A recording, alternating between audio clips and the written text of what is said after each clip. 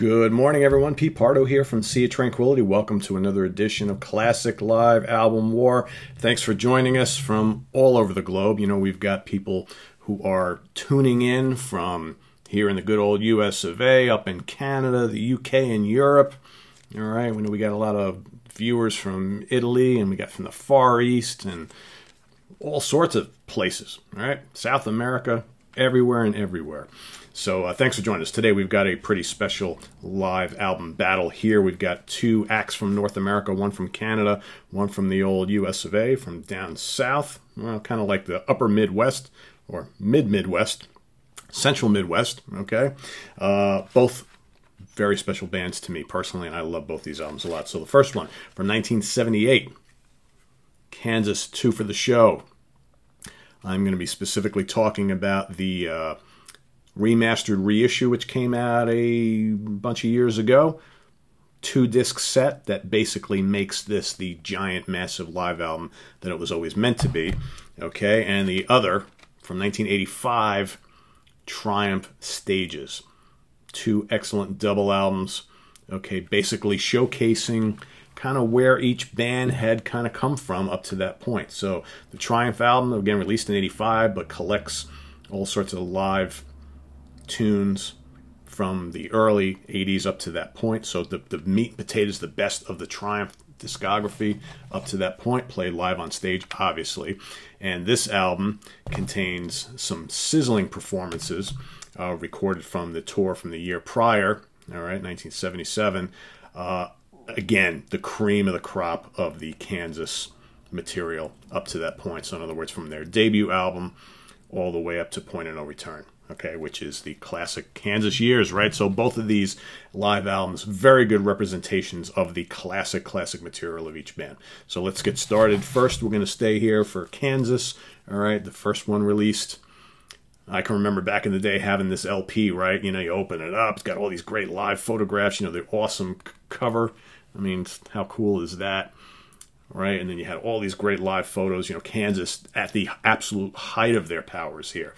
All right pretty much, I know technically there are others, but pretty much the U.S.'s first major progressive rock band right here. Okay. Uh, got all those classic Kansas albums, you know, the debut, Song for America, Masks, um, you know, uh, Leftoverture, Point of No Return. After this, you got Monolith, you know, and a string of other pretty decent albums, right? But those are kind of the cream of the crop of the Kansas discography what do we got on here? It's just like it's just like a who's who of all the best Kansas tracks on here. Performed impeccably, sounds great. All right, you it all off with "Song for America," killer. Point of No Return, Paradox, which kills on here. Uh, Icarus, Born on Wings of Steel, one of my favorite Kansas songs of all time. Incredible on here. Incredible. Uh, Portrait, he knew. Carry on Wayward Son, the big hit. All right live takes on a new, totally new personality. Journey from Mariabronn, great on here. All right, Dust in the Wind, tender, acoustic gem, huge hit for the band. All right, Lonely Wind with a little piano solo. Okay, Mysteries and Mayhem, barn burner of a prog rock tune. Excerpt from Lamplight Symphony, The Wall. How gorgeous is The Wall? Amazing on here. You, know, you got to. Steve Walsh in his prime, along with Robby Steinhardt. You know, Steve Walsh on keyboards, vocals, Robby Steinhardt violin and vocals. Man, what a great one-two punch vocal team right there. Uh, and then finishing off disc disc one on here, okay, which I believe ended the fourth side of vinyl on the original LP. Uh, the incredible and lengthy magnum opus, one of their best and biggest and longest epics that they ever recorded. Okay, so on disc two on here uh, is all the stuff that should, you know, this probably should have been a triple album when it was first released. So here they throw in, they threw in a lot of the tunes that were played throughout that tour. All right, in addition to what we already knew. Okay, so you've got Hopelessly Human. All right, Child of Innocence, another one of my favorite Kansas tunes, great on here. Uh, Belexes, God. Uh, Cheyenne Anthem. Okay. Lonely Street. Miracles Out of Nowhere. How can you not have Miracles Out of Nowhere? Drum solo with the Spider. God, one of their you know very few and um, but best instrumental. Okay, very few. God, how many instrumentals did Kansas ever do? That might be like the only one. Maybe they did one other, right? That's amazing. And then Closet Chronicles, which was actually on the original double LP set, but not added to the original CD release because of time constraints. They couldn't fit it all on one CD. Okay, should have just released two. Damn it, right? Uh, what else we got? Down the road, bluesy hard rocker, uh, Sparks of the Tempest, great tune from the Point of No Return album, and then bringing it back to finish it all off. So you know, with the the reissue, with all these extra tunes, this is like unstoppable, unstoppable. I kind of think you know where I'm going with all this, right? So let's move over to the Triumph album. All right, again, I was big into this.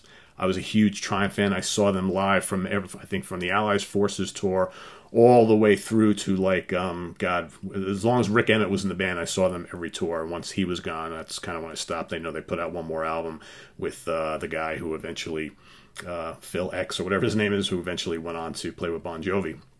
Uh, I saw them on every tour. I really love Triumph a lot. Uh, again, different beats. You got more of a prog band and kind of, you know, while Triumph did a little bit of proggy stuff here and there, they were just a really good hard rock band, uh, arena rock band type of thing. Uh, obviously from Canada. Great guitar playing, you know, dual vocalist. Again, both bands kind of similar in that they had two really strong lead vocalists uh, and a powerhouse uh, drummer and bass player. Okay. So when the lights go down, kick it all off. Really good bluesy heavy rock tune, right? Uh, then the majestic Never Surrender. Never Surrender is incredible on here. Love Emmett's vocals on that. Uh, Hold On. Another anthem from the band. Uh, Magic Power. Okay, here a little little lengthier, right? But still really really good. The band's biggest hit single. Uh, Rock and Roll Machine, 10 minutes plus. Blistering early tune from the band that features in the middle a barnstorming, blazing lead guitar solo from Mr. Rik Emmett. I remember being a kid, we used to play Rock and Roll Machine from this album all the time just to hear that crazy guitar solo, right? Uh, then, of course, you got Lay It On the Line, one of their early hits, okay? A great arena rock tune. Uh, World of Fantasy, another kind of hit for the band later on, right? Early mid 80s. Great tune, really good on here. Uh, Midsummer's Daydream, little acoustic piece from Mr. Emmett. Uh, then you got Spellbound, good driving hard rock tune okay, with um, on the drums, Mr. Gil Moore on vocals. Uh, Follow Your Heart comes up next. Another great, instantly memorable hard rock, arena rock tune. You know, Triumph had so many, just uh, catchy as all hell, hard rock tunes. So many of them. Fight the Good Fight, okay, my all time favorite Triumph song. Anthem to end all anthems. Then you got two at the, at the, back end of the CD. They threw in two new studio tracks. You got Mind Games, which I like a lot, and Empty Inside. Not as successful on that one, but I, I like Mind Games a lot. But you know, the first eleven tracks, all live, all great. You got all you know, arguably most of their most memorable tunes, and it's just boom, boom, boom, boom, boom, one like kind of hit after another. You know, one catchy chorus after another with nice big fat riffs and blazing solos and thumping rhythms. You know, the dual lead vocalist thing. It's just a cracking live album. That is just if this, you know, you want an introduction to to Triumph, this is what you do. This is what you go for. This will give you a sampling of all of their like major tunes, and then you go back and discover the albums because they don't have a lot of albums, right? So it's like you can easily get through the Triumph discography uh, in short stages. Uh, but this will be a great introduction to anybody who hasn't listened to Triumph. So really good. Again, more of like a just a good arena hard rock band, okay, with little proggy touches here and there. I wouldn't never call them metal, right? They really never were a metal band, uh, but great guitar work, okay, great lead vocals. So, as you can tell, I love both of these, right? I really do. Uh, however, for me, if I had to choose between the two of them, and that's what we're doing, right? We're all having to choose to see which of these make it to the second round of our classic live album tournament. Uh, for me, it's got to be this one. You know, even in its original double album form, I'm going to go with this one. But seeing as my CD is now, you know, two for the show on complete jacked steroids, uh, this is probably about a sixth or seventh round knockout. Okay, for for Kansas. Uh, I just you know when it comes down to it, I'm a, I'm a bit of a bigger Kansas fan than Triumph, even though I love Triumph and I've been listening to Triumph since like, you know, 1980, 81, something like that. Um, I just, you know, Kansas is a really, really special band for me. And this is one of the unsung live albums in all of rock history. Uh, it's just a great one. And it just, just perfectly kind of pulls together m- almost all of their greatest material in one live album. This does too, but this for me is a little bit more special. So I'm going to go with this one today. Like I said, seventh round KO, but Triumph put up a really good fight. Okay. So it gets my vote. So curious to see what you guys think. Uh, remember, in the little in the upper right hand corner of this video, you'll see a little white circle with a letter I in the middle of it. Click on that. You'll get to choose little poll between trying for Kansas here. Also, go please vote on our Facebook page. You can vote either or or both, whatever you like. Uh, just make sure you vote at least once because still we've got thousands of people watching these videos and I'm getting like a fraction of people voting. So, you know, I had a lot of people complain initially on that they don't have Facebook accounts. They didn't want to go to Facebook to vote. Why can't we vote on YouTube? And I'm giving everybody the option and I'm seeing like, you know, 2,000, 3,000 hits on a video and 100 votes. So something's not adding up here, right? People are not voting. So please do vote uh, if you care. If you don't care, well, then don't vote. What can I tell you? But don't, you know, don't whine when uh, your favorite of these doesn't make it to the second round. You're like, oh, I can't believe that such and such, you know, beat whatever. Well, you didn't vote. So don't complain. All right. So I'm giving you the option to vote in both places. So let's make these votes count. Let's keep them, the numbers kind of healthy. So it's actually you know some really good battling going on here because uh, we want we want to see the your favorites advance to the next round. That's just what this is all about. We're we're trying the the goal here is to crown your favorite live album of all time. Okay, so we're gonna this is gonna take us up to the end of the year probably.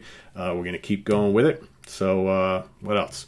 Hey, Jason Morris, thank you for the shirt, my friend. Appreciate it. Appreciate that and CDs. Got a nice little package from Jason the other day, sending me some cool stuff. Uh, Jason Morris, if you live in the upstate New York area, he's got a martial arts school and studio. Go check it out. All right, whether you're interested in yourself or maybe you got kids who are interested or family members, go check it out. Um, this is on the web at www.seatranquility.org. We're on Facebook, we're on Twitter, of course, we're here on YouTube every day. Uh, I am going to be away for half a day tomorrow, full day Wednesday and Thursday. I'm going to New York City for a conference for work for a couple days, so I'm probably going to be recording a few of these classic live wars tonight and first thing tomorrow morning, and I'm just going to post them out there so at least you have some content for the next couple days, and then come uh, Friday. I'll get back on the regular daily schedule. Okay, so be on the lookout for all sorts of cool stuff. Got some other great wars coming up in the days and weeks ahead, so don't miss out. We've got uh, we've got a really good amount. We've got a, a, a, really good amount. That doesn't make sense. We've got a good amount of uh, battles that haven't happened yet. We've also got I've got all my winners so far from the first round that have actually how it works is each battle the poll will run for six days on the Facebook page. That's when I do the cutoff. Okay, I take the results from the Facebook page. And at that sixth day, I take the results from the, the YouTube channel video. So if you're voting, it's been two weeks since the video posted and you're voting, I'm not counting it anymore at that time. So basically, I mean, each each one, each battle has six days. That's when I'm taking the count, and that's when it goes into my spreadsheet as the winner advances to the second round. Okay, so that's kind of how the whole thing works behind the scenes. So uh, we've got all of our winners so far. We got all the ones who have yet to compete, and uh, we'll see where it all goes. Who's going to win? Nobody knows, right? But uh, just keep voting, and we'll see at the end of this long road which is your favorite live album of all time. So we'll see you again later. All right, probably later tonight and tomorrow morning and later in the week. And uh, have a good one, guys. Take care. Bye bye.